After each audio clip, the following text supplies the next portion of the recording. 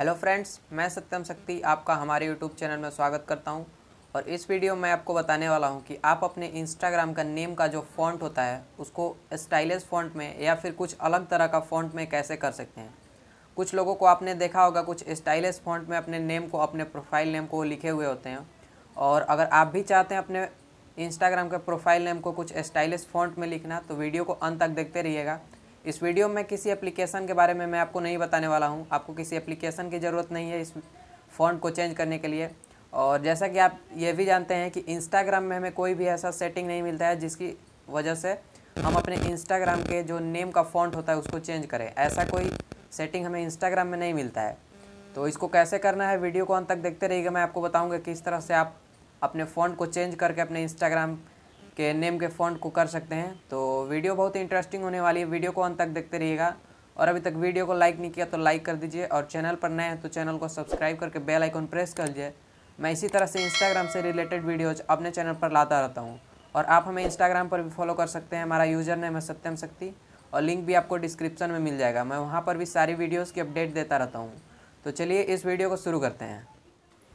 तो हम लोग आ चुके मोबाइल स्क्रीन पे, और यहाँ पे आप देख सकते हैं, ये मेरा इंस्टाग्राम प्रोफ़ाइल है, और यहाँ पे आपको मेरे नेम का यहाँ पे अभी फ़ॉन्ट का स्टाइल यहाँ पे दिख रहा है, और मैं यहाँ पे अपने नेम के फ़ॉन्ट का जो स्टाइल है, उसको चेंज करके दिखाऊँगा। तो उसको चेंज करने के लिए आपको क्या करना है, आपको जाना है अपने क्रोम ब्राउज़र में। तो मैं यहाँ पर अपने क्रोम ब्राउज़र को सबसे पहले ओपन कर लेता हूँ, और यहाँ पर क्रोम ब्राउज़र ओपन करने के बाद आपको जाना है यहाँ पर सर्च बार में, और सर्च बार में आपको जाना है यहाँ पर लिखना है आई जी फॉन्ट यहाँ पे लिखना है आपको आई जी फॉन्ट आई जी फॉन्ट लिख के आपको यहाँ पे सर्च कर देना है।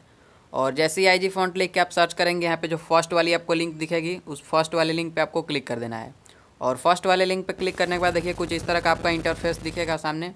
और यहाँ पे ऊपर में आपको दिख रहा है टाइप और पेस्ट योर टेक्स्ट ईयर तो यहाँ पे आपको क्लिक करना है और आपको जिस भी वर्ड का फॉन्ट चेंज करना है जैसे आप अपने अगर मान लीजिए इंस्टाग्राम के बायो का फ़ॉन्ट चेंज करना चाहते हैं तो वहाँ पर भी आप अपने यहाँ पे बायो को लिख लीजिए और मैं यहाँ पे अपने इंस्टाग्राम के प्रोफ़ाइल नेम का फ़ॉन्ट चेंज करना चाहता हूँ।